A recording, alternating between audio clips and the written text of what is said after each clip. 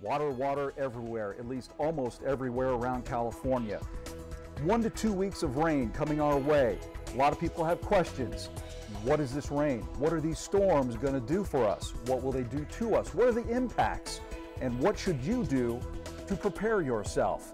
Well, luckily, we have some experts coming up next right here on OES News in Depth. All right, Sean Boyd here at uh, Cal OES headquarters in Sacramento, California.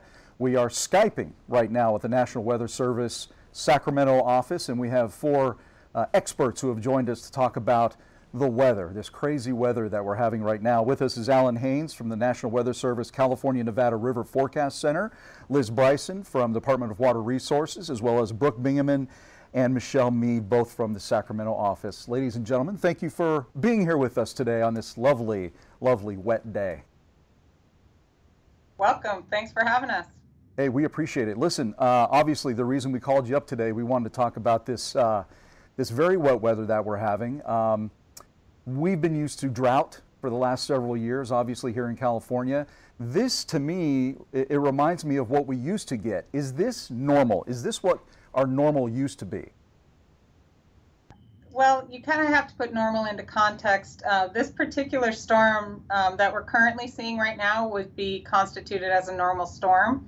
However, the system, the weather system that we're looking at for this weekend is one of those out of the average storms, meaning we haven't seen rainfall rates um, or runoff potential in 10 to 15 years, and in some locations, 25 years there's that much moisture that's going to be coming into central and uh, portions of Northern California this coming weekend. Okay, so what you're saying then is this heavy precipitation is going to affect California as a whole, uh, both from Northern California through the Central Coast all the way down to Southern California. Am I getting that right? Yeah, there are going to be um, more winter impacts across the Pacific Northwest, and then the very wet, heavy precipitation is more from the central and southern Sacramento valleys into the San Joaquin valleys, and then also into the Sierra Nevada, um, central and southern Sierra Nevada. Okay, now one of one of the things that I've been reading about is this uh, this elusive and mysterious atmospheric river. We've heard about this, uh, especially going back to December uh, a couple of years ago when we had uh, some very strange. Uh, well, we had a lot of weather that came through Northern California in December. Uh, and then for the El Nino, uh, we had an atmospheric river that kind of fell apart. What is an atmospheric river? Describe it, if you would, in everyday average Joe terms, and, and what does it mean to our weather pattern and what we're getting right now? The easiest definition, I think. Go ahead, Brooke. I, was just going to say an atmospheric river is basically a very long plume of moisture that travels across the Pacific Ocean. And then when it hits the West Coast, wherever it hits along the West Coast, then that's where the brunt of the storm occurs. It's okay. typically a very narrow band of very heavy precipitation. Okay, good. So, how is this atmospheric river, this band of precipitation, what does it have in store for us, and how far out can you predict? How far can we predict it? Well, there's pretty good confidence that um, in the next uh, seven day forecast that this is definitely going to be impacting California.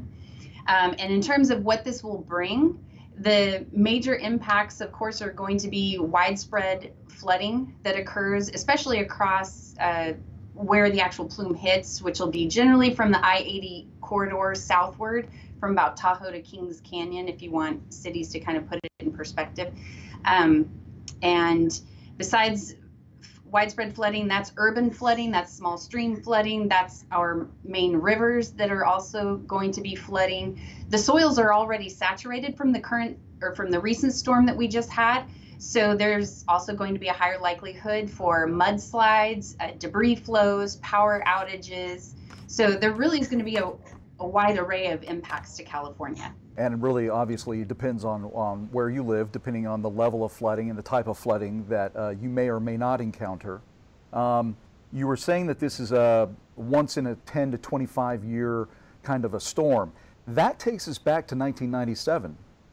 And if anybody was here in 1997, obviously there, you know, the from December into January, we had great snowfall uh, in December, and then the snow elevation, if I'm memory serves right, kind of raised a little bit, went a little higher, and then things started to melt quite a bit. Then we had the massive flooding that we did all over California, especially uh, from the central up north, um, and I guess some down south. But is that what we're preparing ourselves for now? Is maybe something that could potentially uh, arrive to that magnitude? There will be certain areas in the Central Valley, the uh, River, um, Ord Ferry, Hamilton City. Um, they're areas that are already running high. Uh, and the amount of snowfall, like you mentioned, we've gotten some pretty good snowfall just in the last 24 to 48 hours that's going to continue into tonight. So we are going to see some elements of the J January 97, uh, but I don't think it's going to be as widespread. But folks who do um, have a memory of 97, especially like I said, in the southern Sacramento Valley and the San Joaquin Valley. We do anticipate the impacts there to be a little more um, intense just because of the saturated soils and the flat nature of the valley down there. There's really no place for that water to go once the rivers and streams um, are filled. Is that correct, Liz? Pretty much. Yeah. And Liz again is from the Department of Water Resources. Okay, so. No, just Go ahead. Add something here. Yes. Oh, uh, regarding the this, you know, a lot of uh, a lot of times people are concerned about the snowfall, the lower and mid elevation snow that fell. They they look at the 97 event and see that you know think of that as a big contributor. It is a contribution, but it's not as big as maybe you might think because the physics involved. You're looking at there's not a lot of heat and cold rain, so you're not really melting a lot of snow but the little bit, you know, shallow snow layer in the mid and um, lower elevations, especially, that can add a little bit, maybe on the order of uh, 10% to the volume. The main impact of the rising freezing levels with these atmospheric river events is that you're the whole basin is contributing runoff because water is flowing through the snowpack at higher elevations and down in, into the basin, into the river systems. And that's where we really get the biggest effect is just is having the whole basin contribute to runoff. Right. Now, since we're talking about elevations and snowpack, uh, they just conducted, uh, I believe, uh, the latest, or first one of the year, I guess, the um, snowpack uh, measurement analysis. Um, what can you tell me about, from a meteorologist's point of view, looking at the drought, looking at the water content, what are you seeing now and what is it telling you? So yeah, the snowpack is running below normal in terms of water content for this time of year. If you look at, we've had a lot of warm systems so far this year, so a lot of it has been liquid, and um, we've been fortunate in a way that the reservoir's been low. So in terms of uh, runoff, you know, we've got wet basins, we've got full, or, or we will have full reservoirs for what we can store for this time of year. What we we will be adding snowpack this week, which will help. Um, what we're going to have to look for down the road is you want a bigger snowpack that'll be able to run off and recharge the reservoirs in the spring and early summer. That has yet to be determined. Um, I think it'll it, it'll happen to some degree farther south in this year, but up north here, um, we probably want to see more of a snowpack in terms of water supply. But as far as what we can store, we're pretty much uh, going to be there by early next week. Okay, so uh, looking at then long-term forecasts as far as you know the models are showing you, what can you say uh, in terms of being hopeful or maybe um, maybe just taking a look at what the forecast holds with regard to getting the weather cold enough, to getting the, the kind of temperatures that we need at the right elevations to bring us the kind of snowpack that we need. What are the models saying? Well, we can look out what about a about a week into the future Okay. Um, and and week to 10 days. And looking out, they do look to be a little cooler systems next week, not um, not uh, you know for real low elevation snow, but sort of mid level. Uh, so that'll help. Um, but it's really a question of, of what comes after that in terms of for the rest of January, February are, are kind of the main snowpack building months.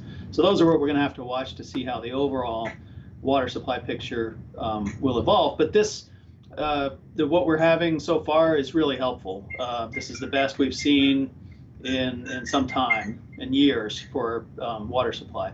Okay. And obviously, there are people who are going to be seeing this. They're going to be watching the news. They're going to be reading the paper, listening to the radio, looking at their phones about the weather that's headed this way, especially coming into this weekend, what should people know? What should they do from a weather point of view? In terms of preparation, Sure. uh, well, yeah. the big yeah, the big heads up is that Friday during the day at least should be dry. So everyone should really try to utilize that day to prepare for this heavy rain event that will be happening Saturday through Monday. So some of the things we're suggesting are simple, such as clearing out your gutters and nearby storm drains, because we definitely expect ponding of water and flooded roadways. If you live near a small stream or a river, keep in mind that those levels are definitely going to rise quickly over this weekend.